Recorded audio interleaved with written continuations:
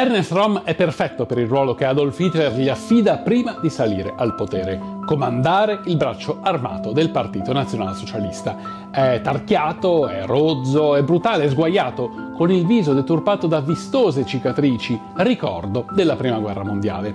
Per l'epoca però ha un solo piccolo difetto, che però non infastidisce Hitler, è omosessuale ma di questo aspetto del tutto privato, che però diventerà un'arma nelle mani di chi vuole liberarsi di lui, parleremo più avanti. Ernest Röhm nasce a Monaco di Baviera il 28 novembre del 1887 in una famiglia borghese. Si diploma al liceo, ma il suo sogno è quello di diventare un soldato.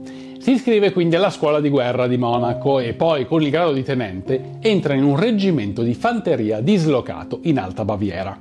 In quegli anni l'orizzonte non ha ancora i colori della guerra e a quanto pare, più che da rude soldato, Roma viene ricordato per i suoi atteggiamenti da dandy, ma nel 1914 le cose cambiano. Durante la Prima Guerra Mondiale il suo reggimento combatte in Francia e già a settembre del 1914 viene gravemente ferito mentre l'esercito tedesco sta ripiegando dopo la sconfitta subita nella prima battaglia della Marna. Un colpo di pistola prende in pieno la faccia di Rom e gli disintegra il naso. Si procura così quelle cicatrici nel viso e anche quel profilo un po' innaturale dovuto all'intervento di ricostruzione del naso non troppo riuscito. Ad aprile del 1915 torna al fronte e un anno dopo viene promosso capitano. Quello sarà, a suo dire, l'anno più bello della mia vita militare, nel 1916, mentre combatte nell'inferno di Verdun, viene raggiunto da 14 schegge che gli provocano ferite in tutto il corpo. Si fa sei mesi d'ospedale e a fine dicembre diventa aiutante di campo al Ministero della Guerra bavarese. Poi torna al fronte in Romania e di nuovo in Francia, dove si mette in luce per le sue particolari doti organizzative. Poi contrae la terribile influenza spagnola, ma sopravvive anche a quella. Alla fine Rom esce dalla guerra con molte cicatrici e una bella croce di ferro di prima classe.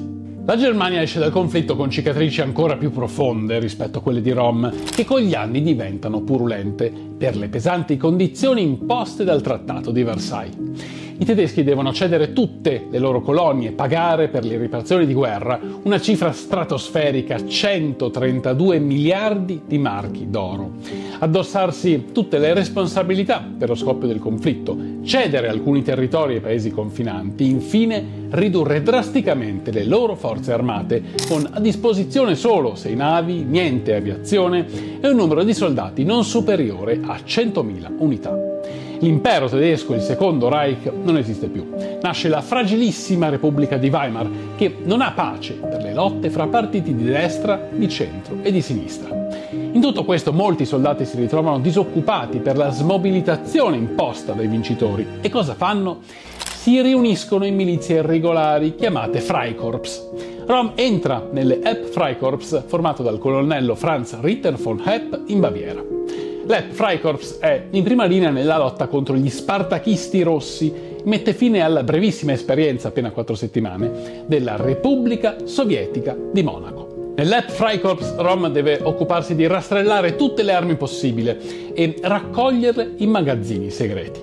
Ma Rom non si accontenta e fonda un movimento estremista, nazionalista e razzista, chiamato Iron Faust, pugno di ferro.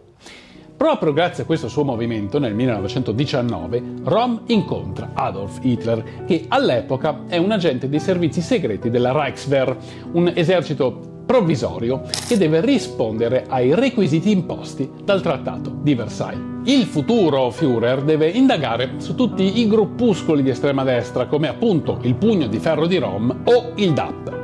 Il DAP, il Partito tedesco dei lavoratori, è stato fondato da un certo Anton Drexler e ha come programma solo quello di unire chiunque condivida idee razziste, antisemite, nazionaliste, anticapitaliste e anticomuniste.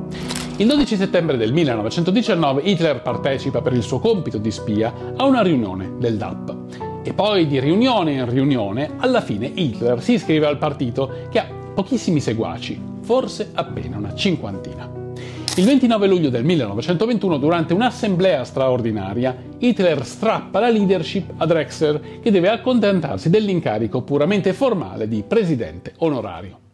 Intanto, nel maggio del 1919, l'EP Freikorps viene assorbito dal Reichswehr. Rom, appena conosce Hitler, decide di aderire al DAP, che nel 1920 prenderà il nome di Partito Nazionalsocialista Tedesco dei Lavoratori. Rom è quindi un sostenitore della prima ora di Hitler, ma anche un amico, tant'è vero che lui dà addirittura del tu e può chiamarlo per nome anziché con il formale Mein Führer, usato da tutti gli altri. Nel 1923 Rom deve riorganizzare le tante milizie paramilitari e le riunisce nel Kampfbund, lega di combattimento tedesca.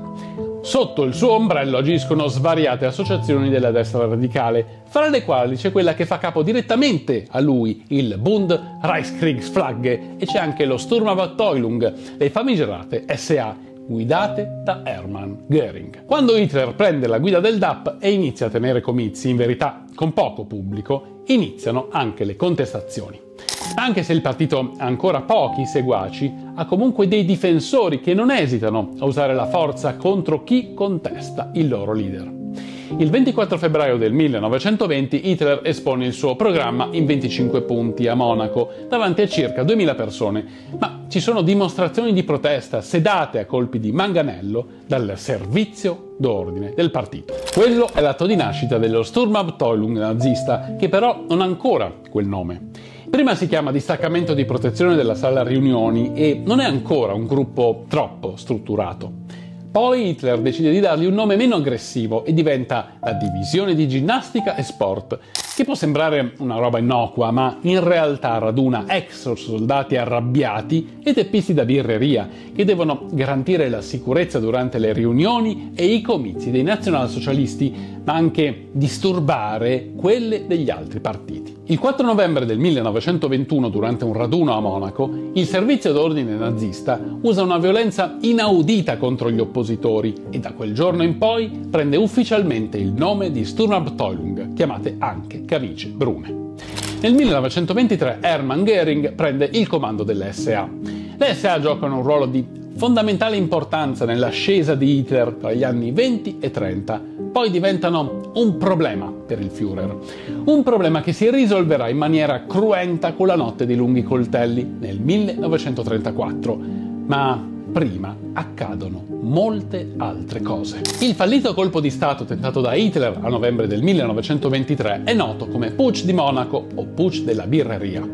Da circa un mese in Baviera c'è un governo di emergenza con poteri dittatoriali perché i conflitti politici violenti fra destra e sinistra sono ormai ingestibili. Questo governo è formato da un triumvirato, composto da un esponente della destra, dal capo della Polizia di Stato, e da un generale della Reichswehr.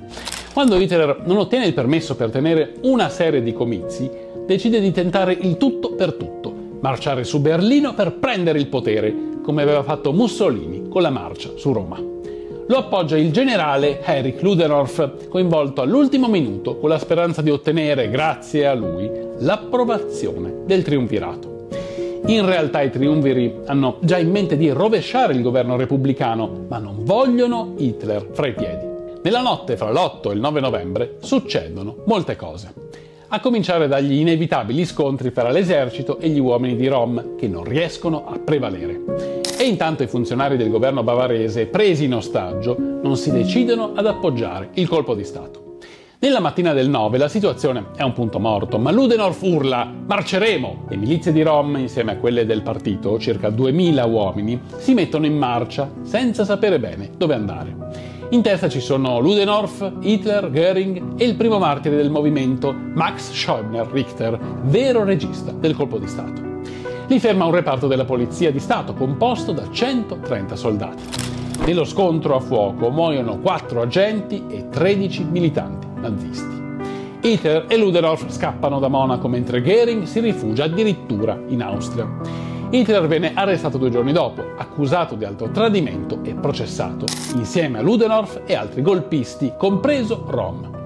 Ludendorff è l'unico ad essere assolto, Hitler venne condannato a 5 anni di reclusione, ma rimarrà in galera, peraltro in reclusione onoraria, meno di 9 mesi. Il Partito Nazionalsocialista e l'SA vengono sciolti, il giornale di riferimento chiuso. Mentre Hitler scrive il suo Mein Kampf durante i mesi di prigionia, il disciolto partito si riorganizza in un nuovo movimento che riunisce le forze della destra radicale e Rom. Che fine ha fatto? Rom, condannato a 15 mesi di reclusione per il putsch di Monaco, viene subito messo in libertà sulla parola. Ad aprile del 1924 viene eletto deputato al Reichstag nelle liste del Partito Nazionalsocialista della Libertà, ma è un'esperienza che dura poco, solo fino a dicembre. Nel frattempo si dà da fare per riorganizzare una nuova milizia, il Frontbahn, ma Hitler, uscito di prigione, non lo appoggia. La brutta esperienza del Putsch di Monaco gli ha insegnato che le milizie paramilitari non bastano per prendere il potere, occorre l'appoggio del Reichswehr. Nel 1925 Hitler non approva l'integrazione dei 30.000 membri del Frontbahn nelle SA che non sono più fuori legge. Rom è profondamente deluso, deluso dalla piega legalista che sta prendendo il rinato Partito Nazionale Socialista, non più al bando. Deluso anche da Hitler, che vuole assegnare alle SA solo compiti di protezione e non le riconosce come una forza di tipo militare. Una funzione subalterna che lui, soldato orgoglioso, non può accettare. A maggio del 1925 si dimette da ogni incarico e abbandona la vita politica. Per qualche anno vivacchia facendo il rappresentante, ma le cose non gli vanno particolarmente bene. Così, nel 1928 accetta un incarico come istruttore militare nell'esercito della Bolivia. È una pacchia perché gli offrono il grado di tenente colonnello e un lauto stipendio, anche se dall'altra parte del mondo, in Sud America. Intanto, in Germania, all'interno delle SA, si forma un'unità di elite, la guardia personale del Führer, le SS, che diventeranno predominanti qualche anno più tardi ma gli uomini dell'SA sono scontenti per motivi sia politici sia economici e nel 1930 mettono in atto una rivolta guidata dal comandante delle SA di Berlino, Walter Stennes. Una rivolta poi rientrata che obbliga Hitler ad assumere il comando supremo dell'SA. Ma lui non ne vuole sapere di occuparsi di quella milizia e così richiama il suo vecchio amico Ernest Rom. Ho bisogno di te, gli dice il Führer, e lui accorre dalla Bolivia indietro in Europa. Il 5 gennaio del 1931 viene nominato capo di Stato Maggiore dell'SA e inizia a riorganizzare la milizia secondo la sua visione, che non prevede nessuna subordinazione ai dirigenti politici, ovviamente escluso Hitler. Ma non solo, le SA devono diventare una forza rilevante all'interno del partito. Come ci riesce? In parte grazie alle sue innegabili capacità, ma molto di più grazie alla crisi economica del 29, che ha lasciato disoccupati un gran numero di tedeschi. Nel 1931, quando arriva a Roma, le SA contano 77.000 uomini, nel 1932 sono all'incirca 430.000 e nel gennaio del 1933, quando Hitler sale al potere, raggiungono forse 2 milioni di unità un'enormità rispetto ai 100.000 uomini della Reichswehr. Le SA sono molto utili a Hitler nei due anni che precedono la sua presa di potere. Utili perché con le loro azioni violente provocano caos e instabilità, funzionali al piano di Hitler che vuole vincere le elezioni del 1932 presentandosi come l'uomo forte in grado di riportare l'ordine nel paese. Ma sono anche una spina nel fianco, perché buona parte di quei miliziani si riconosce nelle idee del nazista di sinistra Gregor Strasser. Sono degli estremisti, nazionalisti e antisemiti che ancora credono in una svolta politico-economica di tipo radicale a favore dei lavoratori e non certo di industriali e grandi proprietari terrieri, come di fatto avverrà. Quando Hitler sale al potere alla fine di gennaio del 1933 ha ancora bisogno di Rom e delle SA per consolidare la sua forza. Migliaia di persone vengono imprigionate, torturate e confinate nei campi di concentramento costruiti a partire dal marzo del 1933. All'inizio sono le SA ad occuparsi di quei campi di concentramento ufficiali e anche di molti altri non ufficiali gestiti direttamente da loro ma col passare dei mesi le SA perdono di importanza. Così Hitler dà qualche contentino a Rom, lo nomina segretario di Stato in Baviera e ministro senza portafoglio nel suo governo. Ma lui, vecchio soldato, vuole ben altro. Vuole mettere in atto una seconda rivoluzione che deve portare alla realizzazione del nuovo Stato nazionalsocialista secondo le idee di Strasser e vuole anche che l'esercito regolare, la Reichswehr, sia assorbito nell'SA per dare vita a un esercito popolare. Inutile dire che questa proposta fa inorridire gli ufficiali dell'esercito, tutti aristocratici tradizionalisti che considerano plebaglia le SA. Fa inorridire anche i gerarchi nazisti, che da tempo vogliono liberarsi di Rom. I nemici di Rom, in particolare Himmler e Goering, hanno in mano un'arma subdola, la sua omosessualità. Nella Germania dell'epoca, come del resto in molti altri paesi, l'omosessualità maschile è un reato, punito dalla legge secondo il famigerato paragrafo 175, peraltro rimasto in vigore in Germania fino al 1994. Naturalmente l'omosessualità di Rom oggi è del tutto ininfluente sul giudizio riguardo la sua vita e sui suoi crimini, ma non lo è negli anni della sua ascesa e della sua caduta. Rom dice di aver scoperto la sua omosessualità nel 1924 a Berlino, quando inizia a frequentare i numerosi locali gay della città e aderisce addirittura a un movimento per i diritti civili. Non dichiara apertamente le sue preferenze sessuali, ma nemmeno le tiene nascoste.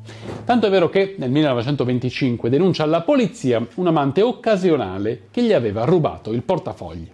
Nel 1928 scrive una sua autobiografia dove, tra le righe, lascia traperare il suo orientamento. Il dottor Carl Gunther Heimsott, anche lui gay, dopo aver letto quell'autobiografia, si mette in contatto con Rom, che gli confessa la sua omosessualità e promette di lottare contro la falsità, l'inganno e l'ipocrisia della società odierna. In sostanza bisogna cambiare il paragrafo 175, quello che proibisce il sesso tra uomini. Tutto nero su bianco, in tre lettere che Rom scrive ad Heimsott. Ma la maggioranza dei nazisti considera l'omosessualità un'aberrazione, addirittura un'arma degli ebrei per rammollire il popolo tedesco. E quindi Rom e la sua cerchia di collaboratori omosessuali sono molto molto malvisti. E sono anche un facile bersaglio. Quando Rom diventa capo di Stato Maggiore delle SA, L'eterno ribelle Walter Stennes dice che lui e la sua divisione non avrebbero mai prestato servizio sotto un noto omosessuale come Rom e i suoi Pupenjungen, ovvero i ragazzi in affitto. Perché in effetti nelle SA fanno carriera molti amici gay di Rom. Intanto lui cerca di mantenere un basso profilo nella vita privata e smette di frequentare i locali per omosessuali, ma si procura incontri a pagamento con ragazzi molto giovani grazie al supporto di alcuni amici. Però le voci non si fermano e coinvolgono tutto il partito, tanto che Joseph Goebbels nel 1931 scrive che ormai il partito nazista è visto come l'Eldorado dei 175. L'Eldorado era il più noto locale gay di Berlino. Ma non sono solo i nazisti ad essere scandalizzati. Socialdemocratici e comunisti, che in teoria dicono di voler abrogare il paragrafo 175, lo usano invece contro Rom. Le preferenze sessuali di Rom sono al centro di una campagna stampa contro di lui nel 1931 e 1932. I socialdemocratici, attraverso il quotidiano Munkener Post, fanno pesanti illazioni sulla calorosa fratellanza diffusa fra le SA. Illazioni sostenute dalla pubblicazione di quelle tre lettere scritte da Rom ad Heimsott. Comunque, già prima della scoperta delle lettere, la Procura di Monaco stava indagando sulla immoralità sessuale innaturale di Rom. La campagna contro di lui usa tutti gli stereotipi possibili sugli omosessuali nell'intento di screditare il Partito Nazionalsocialista. Ma come? I nazisti dicono di lottare contro la corruzione dei costumi esplosa con la Repubblica di Weimar e poi hanno tra le loro fila tanti omosessuali? Tutta la gioventù tedesca è in pericolo, così naturalmente dicono gli avversari. Il Partito Socialdemocratico nel marzo del 1932 fa stampare qualcosa come 300.000 opuscoli distribuiti fra politici, alti ufficiali ed esponenti importanti della borghesia. L'opuscolo parla di decadenza fra le fila del partito nazista, decadenza che avrebbe fatto fare alla Germania la fine dell'antica Roma. Naturalmente il vero obiettivo non è Rom, ma Hitler e il partito nazista, in un momento in cui ogni arma sembra legittima per contrastare l'ascesa del nazionalsocialismo che sembra inarrestabile. È una campagna feroce che infastidisce anche chi tra gli oppositori del nazionalsocialismo trova eccessivo usare l'omosessualità come arma politica. Quando scoppia lo scandalo Rom, Hitler non se ne cura, ma qualche dirigente nazista progetta addirittura di ucciderlo insieme ai suoi collaboratori più stretti. Il piano fallisce e il Führer dice chiaro che Rom è intoccabile. Ma perché? Difficile dirlo, forse c'entra la vecchia amicizia e c'è anche l'indiscutibile efficienza di Rom e forse anche il netto rifiuto a mettere in discussione una sua scelta. Nonostante questa accesa campagna, alle elezioni del 1932 Hitler ottiene il 37% di voti, che non è la maggioranza assoluta, ma è comunque un ottimo risultato e quindi Rom rimane al suo posto. Ma è sempre più isolato, nonostante la nomina a ministro. Nomina che fa discutere perché nemmeno durante la corrotta, così la definiscono i nazisti, Repubblica di Weimar, un partito politico ha avuto un dirigente omosessuale. Ma i giorni di Rom sono contati non per il suo orientamento sessuale, ma per la sua fissazione con la seconda rivoluzione e l'esercito popolare. Hitler, che per i suoi piani futuri ha bisogno di un esercito ben addestrato e non certo di una milizia popolare disordinata, tenta di ridurre la ragione Rom, ma non ci riesce. La faccenda si conclude con un furibondo litigio fra i due vecchi amici all'inizio di giugno del 1934. Proprio in quei giorni Hitler viene informato che il presidente della Repubblica, Paul von Hindenburg, ha i giorni contati. Che bella occasione per ottenere la carica di presidente che, unita a quella di cancelliere, lo avrebbe fatto diventare capo del governo e capo di Stato della Germania. La Reichswehr è disposta ad appoggiarlo, ma deve liberarsi di Rom e ridimensionare di molto le SA. È un'offerta che Hitler non può rifiutare, anche perché intanto Himmler, Goering e altri gerarchi hanno messo in giro delle voci su un presunto complotto ordito da Rom contro Hitler e portano anche le prove false. E comunque ci si mette di mezzo anche Hindenburg, che è malato ma minaccia di far entrare in vigore la legge marziale e quindi esautorare Hitler se il cancelliere non mette fine alle continue violenze di strada delle SA.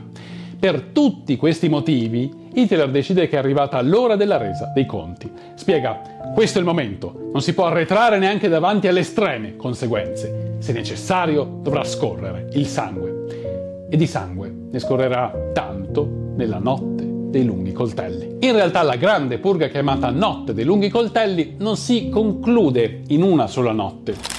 Sono tre giorni di vendette sanguinose, dal 30 giugno al 2 luglio del 1934, che liberano Hitler dai nemici interni al partito, da qualche vecchio esponente della destra non nazista e consolidano il potere delle SS, guidate da Himmler. La grande purga viene pianificata attentamente nel mese di giugno. Hitler, Göring, Himmler, Heydrich e Viktor Rutze, ufficiale delle SA fedele al Führer, mettono giù una lista di persone da far fuori. Poi Hitler si assicura l'appoggio dell'esercito e Himmler quello delle SS, ancora inquadrate come parte delle SA. Il 28 giugno Hitler ordina a tutti i capi delle SA di riunirsi a Bad Wiese, dove Rom è in vacanza. Lui, Hitler, li avrebbe raggiunti per una riunione nella mattina del 30 giugno.